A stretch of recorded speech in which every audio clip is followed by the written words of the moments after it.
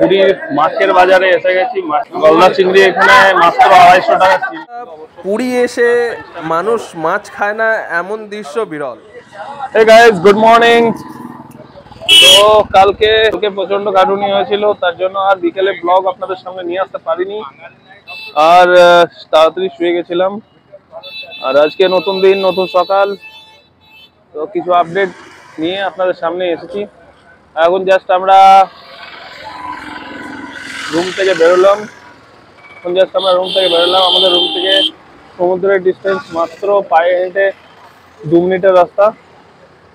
তো এরপরে যখন, তো এরপরে যখন আমরা যাব, তখন আপনাদেরকে রুমের ডিটেলস আপনাদের সঙ্গে দিতে থাকব।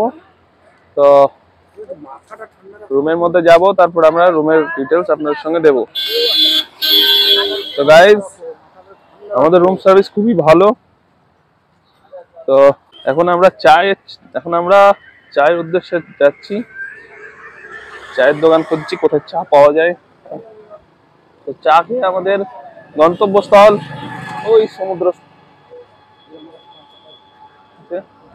দেখুন, এই এই মাত্র মাছ উঠেছে কিছু। সমুদ্র থেকে জাস্ট কিছু সামুদ্রিক মাছ এসছে। চলুন দেখে নি কি মাছ এসছে।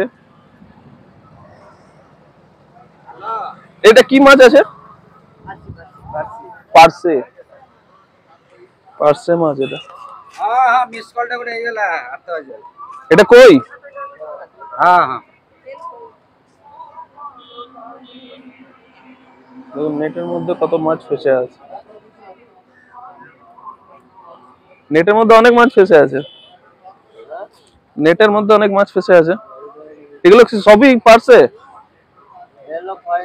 খয়রা কোনটা? ও দুশো টাকা বলল একশো আশি টাকা নেবে। ওটা কি কাঁকড়া আছে নাকি গো? আছে নগদ টাটকা মাছ আছে। হ্যাঁ, এই যে আছে তো পাচ্ছে আছে সব।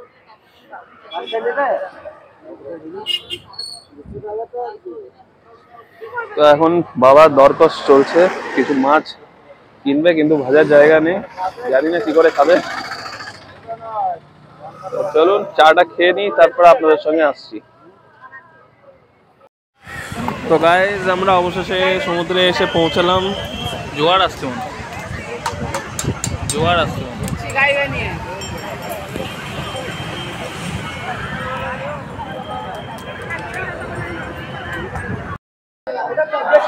গাইজ আমরা এখন পুরীর মাছের বাজারে এসে গেছি। মাছের দাম খুবই কম গলদা চিংড়ি। না, রাখ, জিজ্ঞেস করছি দাদা। গলদা চিংড়ি এখানে মাত্র আড়াইশো টাকা কিলো। তো করলে হয়তো আরও কম দাম হতে পারে। পমপ্লেট মাছটা দেখিনি, কত টাকা কিলো ছিল এই পমপ্লেট মাছটা কত কিলো গো? কত?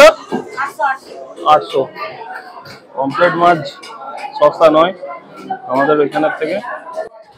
বন্ধুরা, পুরী এসে মানুষ মাছ খায় না, এমন দৃশ্য বিরল। তো অনেকেই মাছ প্রেমিক আর কথাতেই আছে মাছে ভাতে বাঙালি। তো পুরী এসে আপনি হয়তো সমুদ্রের তীরে যে মাছগুলি খান, সেই মাছগুলি মোটেও আপনার স্বাস্থ্যের জন্য ঠিক নয়। তো আমরা এই বাজারটিতে এসেছি, এই মাছটি কাটা চলছে, আমরা মাছটি কিনলাম ওইখান থেকে পার্শে মাছ। আর তারপরে ওই মাছটি কাটা চলছে, আর এই মার্কেটটি যেটা দেখছেন, সমস্ত রকমের আপনার সামুদ্রিক মাছ এই মার্কেটে পাওয়া যায়। আমি ডেসক্রিপশনে লোকেশনটা দিয়ে দেবো আপনারা খোঁজ করে নেবেন। আর যে মাছ আপনি খেতে চাইছেন সমস্ত রকমের আর সস্তায় পাবেন।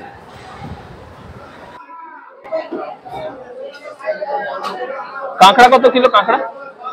দুশো টাকা কিলো। আর আমাদের এই মাছটি কাটা হয়ে গেল এবং আঁশটাও ছাড়ানো হয়ে গেল। তারপরে আমরা যাব একটি ওইখানে আপনার রান্না করে দেওয়ার জন্য লোক আছে। তো যিনি একশো টাকার বিনিময়ে আপনার এই রান্নাটি করে দেবেন।